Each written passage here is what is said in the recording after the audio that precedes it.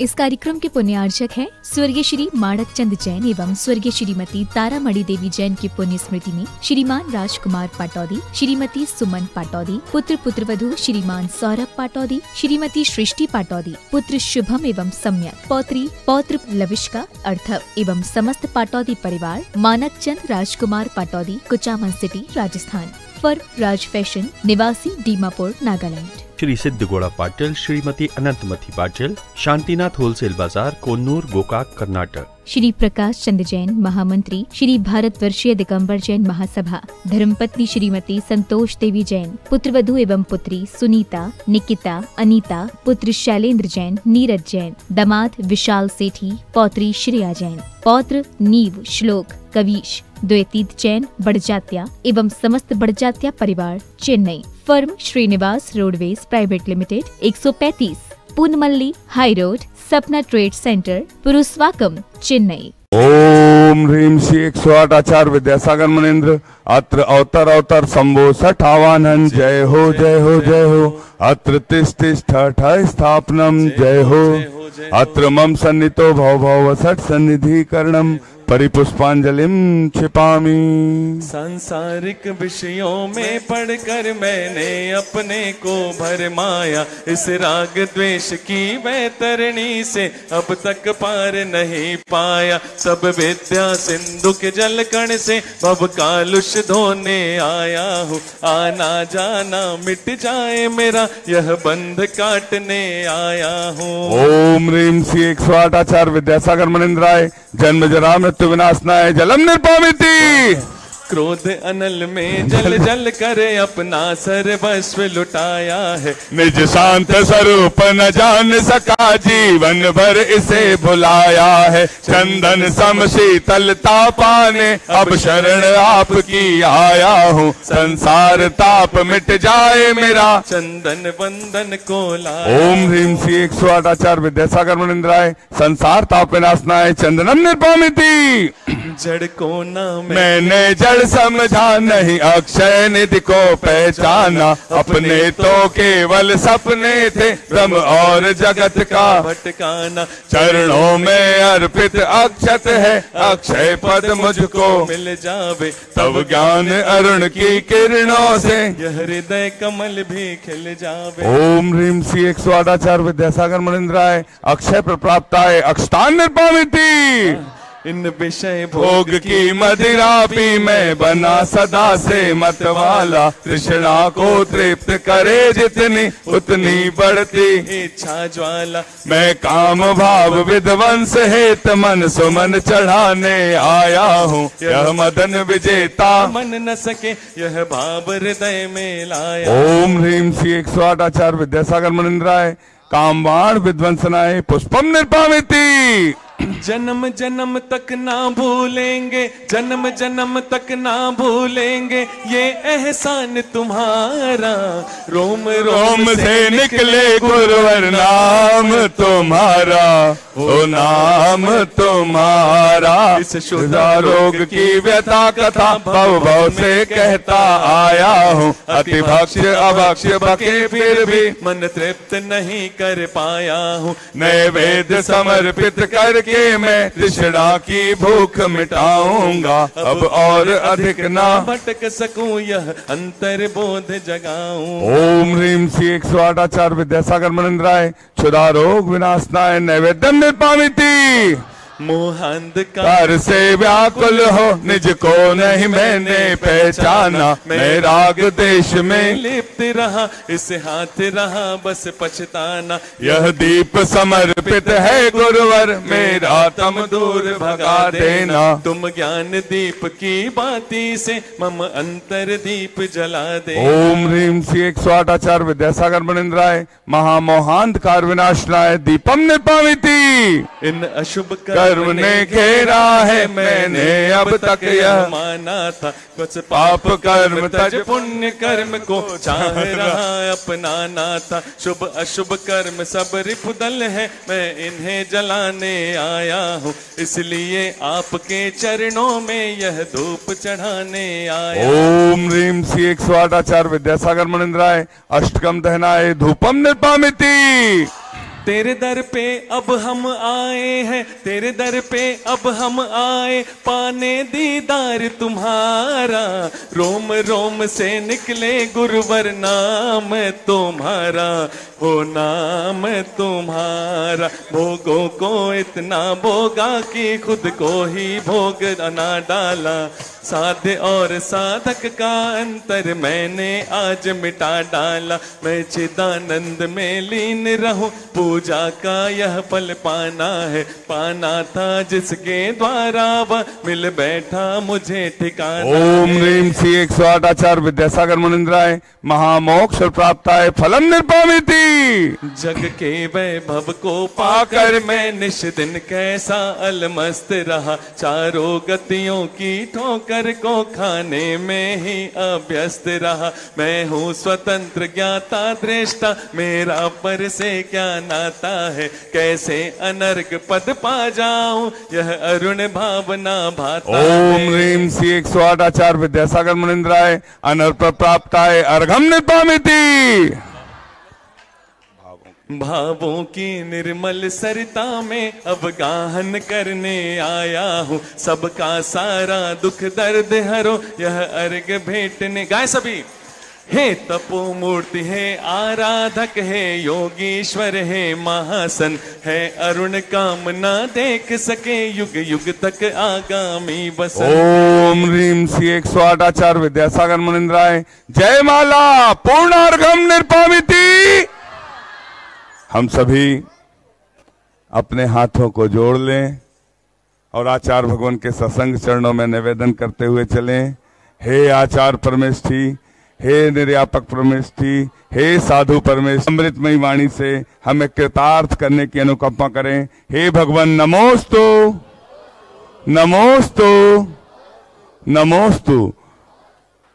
मंगलम भगवान् वीरो मङ्गलं गौतमो गणि मङ्गलं कुन्दकुन्दादु जैनधर्मोऽस्तु मङ्गलं सर्वमङ्गलमाङ्गल्यं सर्वकल्याणकारकं प्रधानं सर्वधर्माणां जैनं जयतु शासनं जैनं जयतु शासनं बोले अनंत अनंत सिद्ध भगवान की, चौबीसों भगवान की, वर्तमान शासन का महावीर भगवान की, संत शिरोमणि आचार्य गुरु विद्यासागर जी महाराज की, कर्म कर्म हिताबंदी जीव ज्योत स्पृह स्व स्व प्रभुव्यस्वे स्वार्थम को न वांछती एक स्टोब्रिस में कार्य कर दिए पूजपा स्वामी ने। इसके माध्यम से हम लोगों के लिए ये उपदेश दे रहे हैं। जो जिनका प्रभाव रहता है, वो अपना काम साध लेता है। कर्म कर्म हिताबंदी, कर्म अपना हित चाहता है और जीव अपना हित चाहता है। जैसे आप लोग उदाहरण बोलते हैं मेजॉरिटी बोले क्या इज़ द पॉइंट जिनका मेजॉरिटी हो गया तो उनका काम होता रहता है। ऐसा जो भी कर्म का प्रभाव है तो कर्म का काम होगा। और ये जीव पुरुषार्थ करता है तो अपने पुरुषार्थ के माध्यम से अपना कल्याण वो कर सकता है। तो अब देखो उदाहरण बता रहे हैं, क्योंकि रामायण तो आप लोगों ने सुना है, उसमें एक प्रसंग याद आ गया।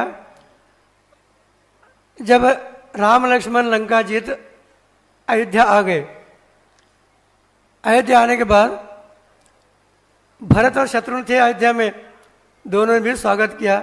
नगर में उल्लास नृत्य गान होने लगा।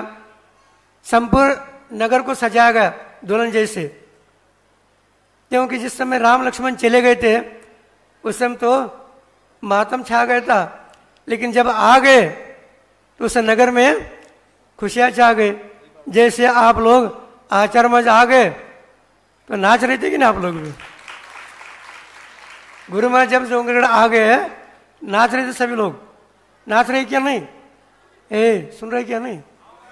हाँ तो बोलो कम से कम। तो जब खुशी है, जब आचार्य जा रहे थे उस समय, रो रहे थे, अमरकंड जाते उस समय, और वापस आ गए तो खुश हो गए थे। उसी प्रकार राम लक्ष्मण चले गए थे उस समय तो दुखी हो गए थे सभी नगर के लोग। लेकिन वापस आ गए, उस समय खुश हो गए।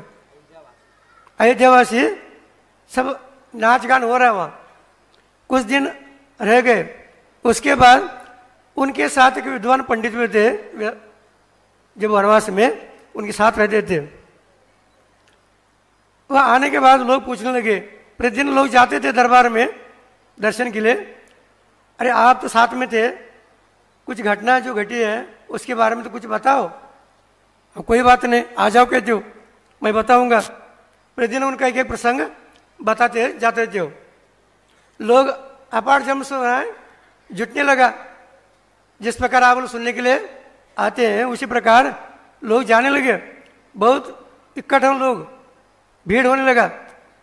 तो हनुमान भी था उस समय। हनुमान जो भी राम की सेवा कर रहा था वहाँ। तो उन्हें सोचा, लोग कहाँ जाते हैं? तो पंडित जी पूछा, आप प्रतिदिन कहाँ जाते हैं? तो मैं प्रसंग सुनाने के लिए जाता हूँ। कौन सा प्रसंग? साथ में जो थे, चौदह साल वनवास में, युद्ध के समय जो जो घटना घटी, मैं लोगों को बताता हूँ। अच्छा ऐसा हनुमान ने क्या पूछा?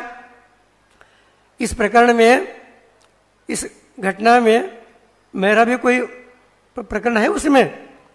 हनुमान ने पूछा, आप लोग पूछते कि नहीं? महाराज, हमारा भी कुछ है उसमें? अच्छी तरह से आशीर्वाद दे दो। बोलते क्या नहीं? उसी प्रकार जो भी हनुमान ने पूछा, मेरा भी कोई प्रसंग है इसमें? है कहते हो कब आएगा? कल आने वाला है। कब आने वाला है?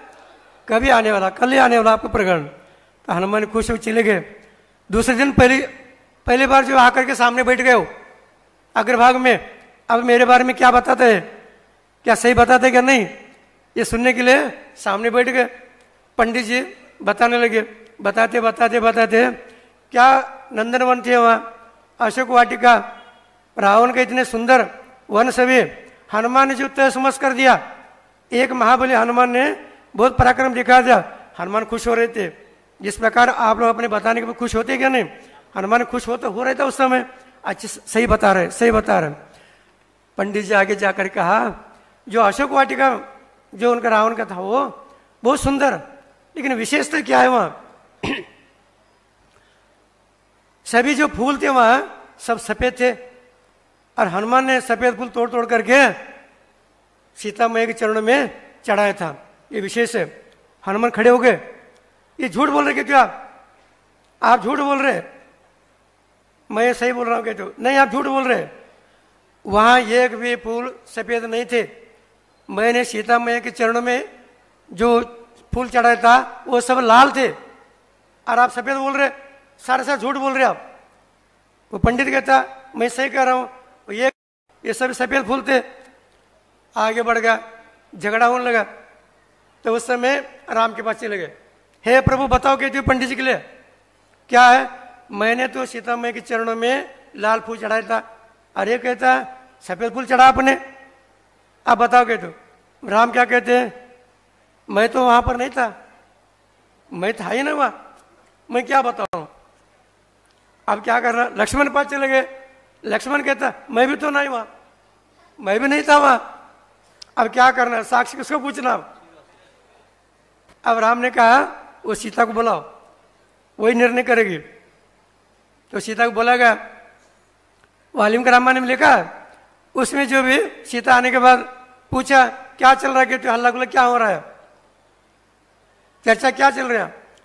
तो हनुमान ने कहा, देखो मैया कहते हो, ये पंडित जी जो भी वहाँ की घटना सुना रहा है, अशोक वाटिक का, और वहाँ ने, मैंने जो आपके चरणों में फूल चढ़ाया था, उसके बारे में, उसके बारे में गलत मैसेज दे रहा है, समाचार, बता रहा प्रसंग। मैंने आपके चरणों में लाल फूल चढ़ाया था अरे कहता, सफ़ेद फूल चढ़ाए थे आप अब आप ही उनको समझाओ कहते हो पंडित जी को, ये सुनता नहीं, गलत प्रचार हो रहा है। सीता ने हनुमान को शांत करते हुए कहा, हनुमान जी, आप शांत हो जाए, आप शांत बैठो। वहाँ सब सफ़ेद फूल थे। आपने चढ़ा था सफ़ेद फूल। लेकिन क्या हुआ, आप गुस्से में थे, क्रोध में थे। आप सब ला, आँख लाल हो गए थे। केवल फूल नहीं सभी चीज़ें आपको लाल ही दिखाई दे रही थी। आपने चढ़ाए तो सफ़ेद फूल। इसका मत तात्पर्य क्या है? हनुमान तो शांत होगा। कहने के तात्पर्य अपने दृष्टि को बदलना चाहिए। अपने सोच को बदलना चाहिए। अपने विचार को बदलना चाहिए। जैसे आप विचार करोगे वैसा दुनिया दिखती। है जैसा दृष्टि करोगे वैसा दुनिया दिखती। है आपको सृष्टि निर्माण होती है। दुनिया को बदलने की कोशिश नहीं करना। सृष्टि को बदलने की कोशिश नहीं करना, अपने दृष्टि को ही बदलना, हमारे आचार्य ने कहा। अपने दृष्टि जैसे बदलोगे, उस प्रकार आपका भी, दूसरों का भी कल्याण हो सकता है। अब यहाँ जो सीता ने सोचा, क्योंकि ये हनुमान इस प्रकार बोल रहे थे, अब हम गए थे वनवास, चौदह साल के अंतर में, चौदह साल में इस अयोध्या में क्या क्या परिवर्तन हो गया इसको देखने के लिए, वो एक दासी को लेकर के चले गए। घूम, घूमने के लिए चले गए। परिवर्तन क्या क्या होगा? देखना पड़ेगा। ऊपर नीचे क्या क्या हो रहा है यहाँ? जाते कि नहीं आप लोग भी? हाँ उसी प्रकार आचार मज़बूत जाते ऊपर। क्या क्या हो रहा है? उधर क्या हो रहा है? इधर क्या हो रहा है? उसी प्रकार जो भी सीता भी दासी को लेकर चले गए। जब नगर में जाते समय चौराहे पर एक स्त्री खड़ी थी। उसकी गोद में एक बच्चा था, छोटा बच्चा। बदन के ऊपर फटे हुए कपड़े, साड़ी जो भी, फटे हुए कपड़े जो। इसको देख करके शीशा सोचने लगे, ये अयोध्या नगरी में और राम के राज्य में इतनी तंग हाल। पहने के लिए कपड़े भी नहीं है, फटे चितड़े। क्या बात है जो ये मर्यादा पुरुष राम राज्य में ऐसी स्थिति क्या बात है? जाकर उस स्त्री को पूछा। ये क्या है? तो उसने कहा, महारानी जी, मेरे पति यात्रा के लिए गया था। यात्रा के लिए गया था, वही उनका अवसान हो गया, वही मर गए मेरे घर में करने वाला कोई नहीं है। मुझे खाने पीने के लिए नहीं है, पहनने के लिए नहीं है, मैं असहाय हूँ। सीता सुन करके बहुत दुखी हो गए। उन्हें तत्काल सोचा नहीं, अपने जितने भी गहने थे, उतार करके उसको दे दिया। वो करोड़ों की नहीं, अरबों की कीमती। रत्न के जो हार रहते हैं, वो अरबों की कीमती का। उस समय अभी तो आप देखने को भी नहीं मिलते हो। देखने को भी नहीं मिलेगा आपको। आपको पुण्य नहीं है। उसको दे दिया। दासी थी दासी कहने लगे, राजमहल जा करके दे देंगे। सीता क्या कहते मेरे गहने जो भी है आभरण इससे भी कीमती है, मेरी प्रजा है।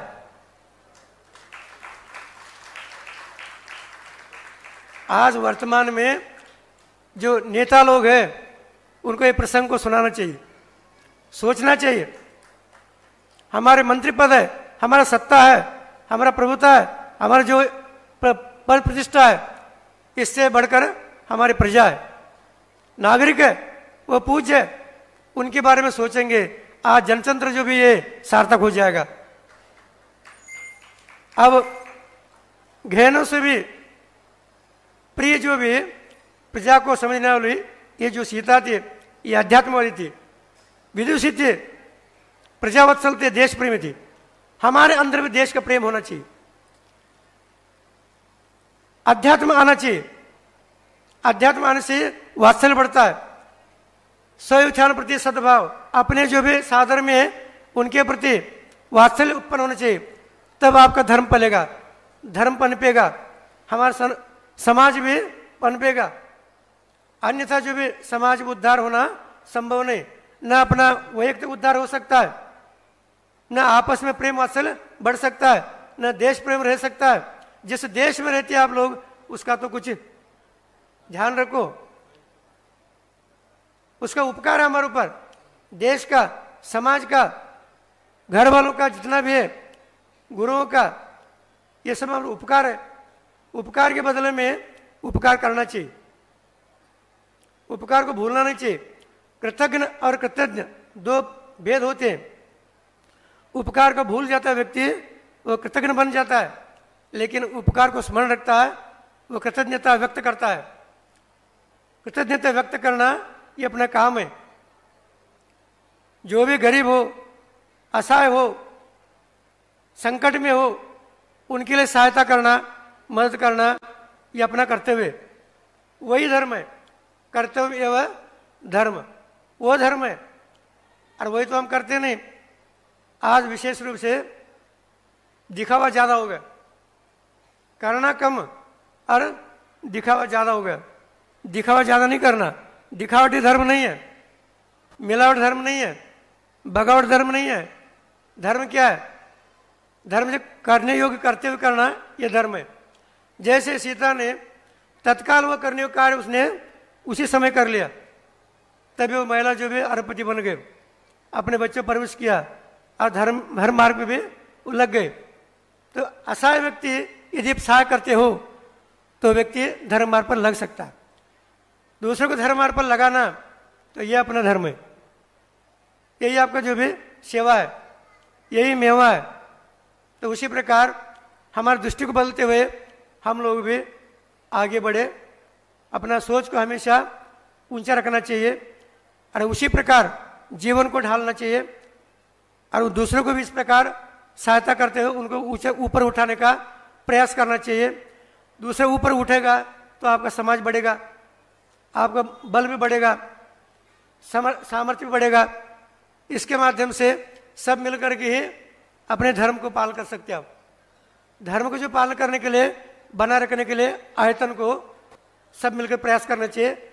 उसके लिए एक कारण है आपका वात्सल्य। अध्यात्म, प्रेम वात्सल्य। ये जो भी विविधता ज्ञान, कौन सा ज्ञान? समीचीन ज्ञान ही काम में आता है। उसके बारे में कभी कभार बता देंगे। समीचीन ज्ञान के बारे में, अब तो समय आपको होगा, ज़्यादा नहीं। क्योंकि समय पर आप दिया था आपने, इस समय पर आपको छोड़ देंगे। अब आगे चल करके आप लोग भी अपने जीवन में प्रेम वात्सल्य रखते हुए आगे बढ़े। दूसरों का भी कल्याण हो, आप लोगों का कल्याण हो, इस भावना के साथ बोले, महावीर का भगवान की। ओम नमः सिद्धेभ्य अहिंसा परमो धर्म की।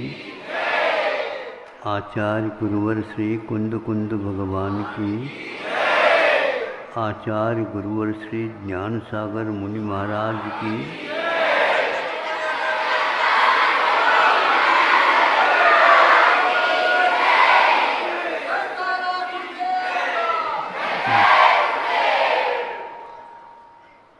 दिग्विजय के लिए जब भरत चक्रवर्ती गए थे वे लौट रहे हैं। यह निश्चित है, युग के आदि में वे आदिम चक्रवर्ती माने जाते हैं। पहले से ही सब लोगों को ज्ञात हो गया था, यही चक्रवर्ती बने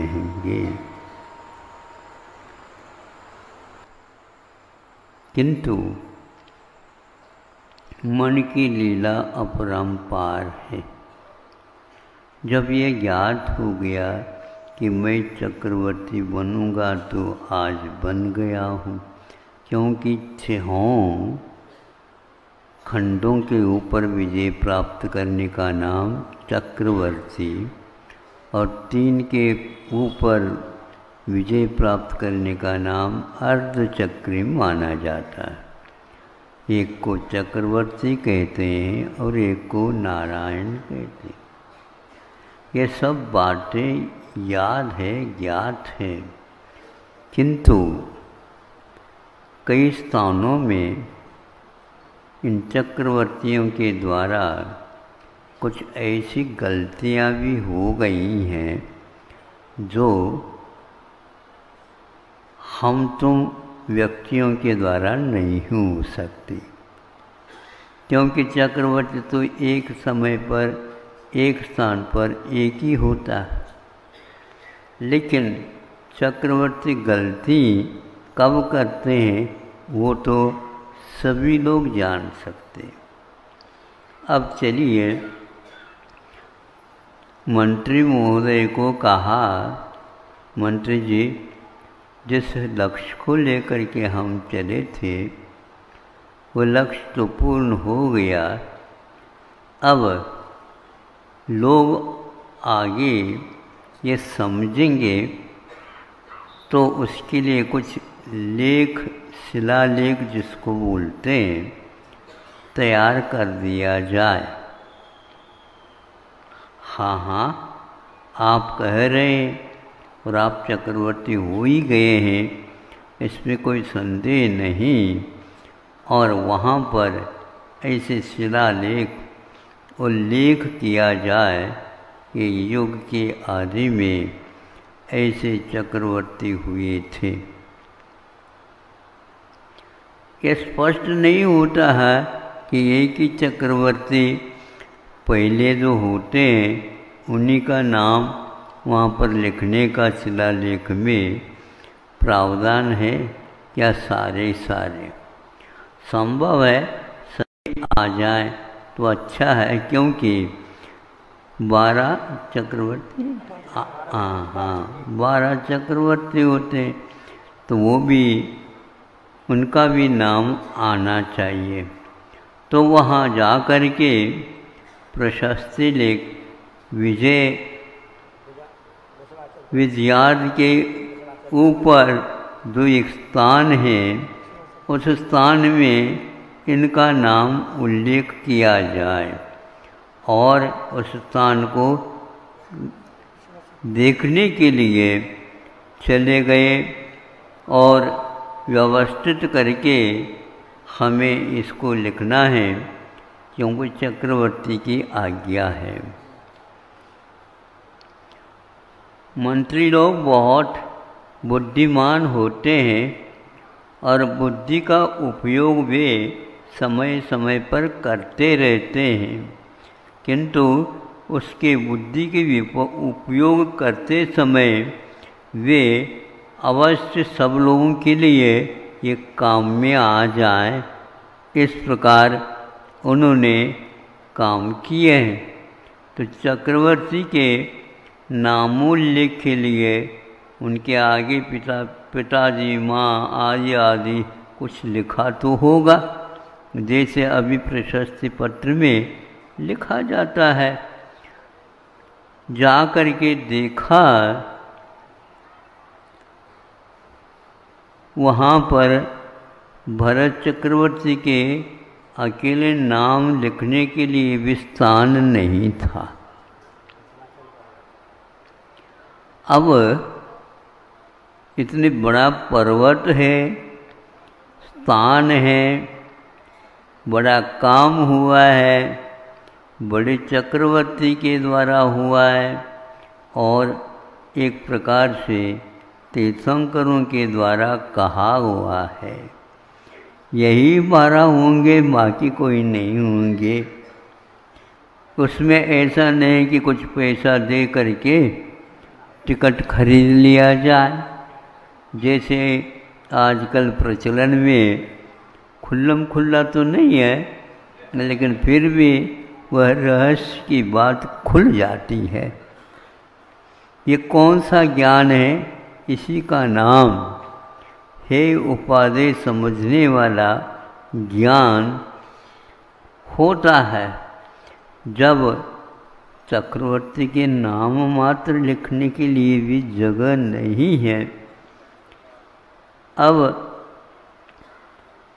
कैसे लिखा जाए? बुद्धि तो चल रही थी, लेकिन अपनी बुद्धि यहाँ पर काम नहीं आएगी।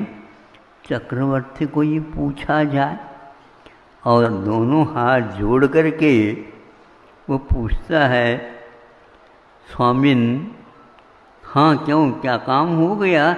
हाँ वही चल रहा है। सारा तैयार हो गया है। आप नामो लेख मात्र प्रशस्ति में लिखना है।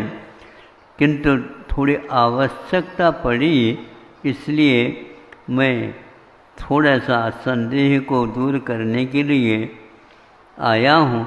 ऐसे कौन सा संदेह हो गया तुमको? नहीं, संदेह स्पष्ट तो है। लेकिन फिर भी आपका क्या और आशय है?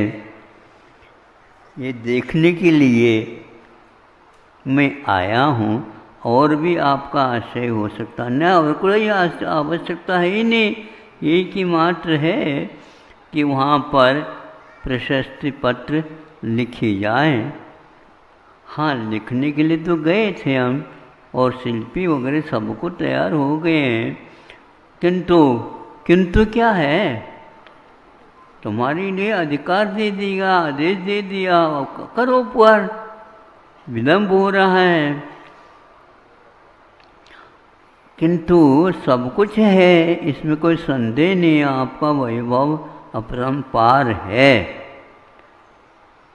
किंतु पहले भी ऐसे चक्रवर्ती बहुत हुए हैं। चक्रवर्ती तो चक्रवर्ती होता है। वो इतने नामूल्य उसमें प्रशस्ति में लिखे गए हैं। अब स्वामिन नए सिरे से किसी एक का नाम वहाँ पर जोड़ने के लिए जगह नहीं है। अब आप आज्ञा आज्ञा दो तो मैं इसी प्रकार आज्ञा का पालन करूँगा। चक्रवर्ती को वैसे पसीना नहीं आता।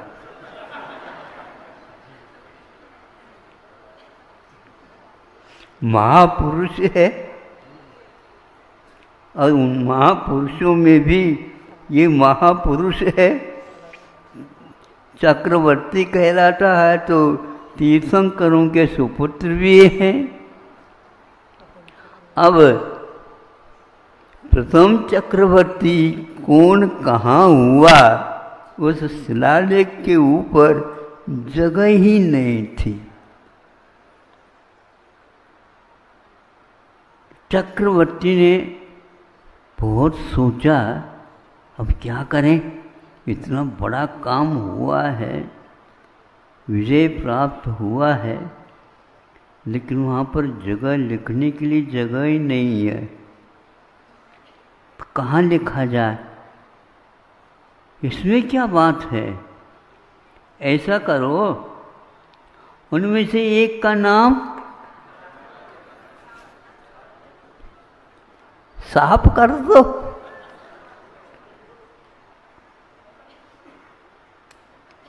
फिर फिर क्या सोचना? उनमें से एक का नाम, अब अंतिम नाम पहले नाम क्योंकि पूरा पूरा हो गई शिलालेख लिखा हुआ है। नीचे भी जो लिखा गया है, वह भी मेरे से पहले हुए है। और इन सबसे एक एक चीज़ें करते चले जाते हैं। सर्वप्रथम जो नाम लिखा गया है उसके बाद भी लिखे गए हैं। और सुनते हैं कि और भी नाम होंगे तो कहाँ लिखा हुआ है? ये तो लिखने वालों की संख्या इतनी हो गई। लेकिन जब कभी भी चक्रवर्ती आया, उनकी प्रशस्ति लिखने की बात हुई तो इसी प्रकार की समस्या आ गई होगी। कैसे भी हो, हमारे चक्रवर्ती तो हमारे चक्रवर्ती हैं, हमारे काल काल में हुए हैं। ऐसा कर लो, पहले वालों का नाम ही। क्योंकि काफ़ी वर्ष हो गए उनको। जीर्णोद्धार के लिए स्थानीय बनाना है तो हम नीचे क्यों करें? यूँ देखना पड़े तब देखेंगे लोग। उन्होंने इसका नाम मिटाने का इरादा किया। दूसरे के अस्तित्व को नकारना यह तीव्र नाम कर्म के ना, मान कर्म के उदय के बिना संभव नहीं है। महाराज, किसी भव में मुक्त होने वाले हैं, महापुरुष है, और उनको भी पसीना आ गया अपने नाम उल्लेख लिखते समय। उस पसीना को पहुँचने वाला भी कोई नहीं था, साहस भी नहीं था। ऐसा भी कार्य हो सकता है क्या? या इसे कौन सा कर्म का उदय है? जो अंतर्मुहूर्त में जिन्हें संन्यास धारण करने के उपरांत केवल ज्ञान होना है और सुनते हैं, मान कषाय के अभाव के बिना वह हो नहीं सकता। अभी यही भूत जैसा बैठा हुआ है। अब इनको कब होगा? और अनंत, और अनर्थ और हो गया। अपने को तो सोचना नहीं चाहिए बड़ों के बारे में। जो कुछ भी लिखा है, वह जनवानी है। वो तो हमारे द्वारा लिखा हुआ नहीं, केवल ज्ञान में ही ये झलका हुआ था। सुन रहे हो? हाँ केवल ज्ञान में ऐसे घर में जो वैरागी कहलाते हैं, आज भी लोग कह रहे हैं उनको, लेकिन उन्हें ये भी पता नहीं है, ऐसा भी उनके पास भूत था, जिसने दूसरे के नाम मिटाने के लिए अपना आदेश दे देता है। इन्होंने इन्होंने तो नहीं कहा ऋषभनाथ ने, लेकिन ये अवश्य कहा, कोई भी चक्रवर्ती है, उसके भूत को उतारना हो तो उसके लिए ये कहना आवश्यक है कि तुम्हारे जैसे सीनियर, आप तो जूनियर है हाँ आप बैचलर है मतलब बच्चे हो। ये तो बहुत प्रौढ़ है। किंतु मैं समझ रहा हूँ, इसमें कोई अंत है ही नहीं। लेकिन फिर भी यह अप्रत्याख्याना वरण। अप्रत्याख्यान का अर्थ द्वेष संयम होता है। आवरण का अर्थ होता है उस संयम को मिटाने वाला। इसीलिए वह सोचता है, निकाल दो उस नाम को और हमारे नाम लिख दो और चलो। जब कभी भी दूसरा चक्रवर्ती आएगा, तब तक तो यहाँ पर कोई आने का नाम ही नहीं। वह भी सोचेगा। मतलब ये ऐसे अप्रत्याख्यान के उदय में दूसरे की प्रशस्ति को समाप्त करके अपनी प्रशस्ति को चंद्रमा के समान उज्जवल रखने का साहस करता है। ध्यान रखो, ऐसे चंद्रमा के सामने जो कि देवता माने जाते हैं, थोड़े तो सोच लेते हैं। जिस प्रकार चंद्रमा में दाग है, उसी प्रकार चक्रवर्तियों के इतिहास में भी अप्रत्याख्यान के, शाही के द्वारा लिखा हुआ दाग है। आज भी वह शास्त्रों में उल्लेखित है और यह अनंत काल तक रहेगा। जब कभी भी द्वादशांग की रचना होगी, पुराणों के लेख होंगे, उसमें तिरसठ सदा का पुरुषों में भरत चक्रवर्ती का नाम भी आएगा। इतना ही मैं कह करके अब प्रत्याख्यान और प्रत्याख्यान इन दोनों भूतों को भी स्वयं ही अपने हाथ से मिटा दे और वहाँ पर केवल ज्ञान की प्रशस्ति लिख दे। ये बुद्धि भगवान हमें प्राप्त हो जाए। अहिंसा परमो धर्म की।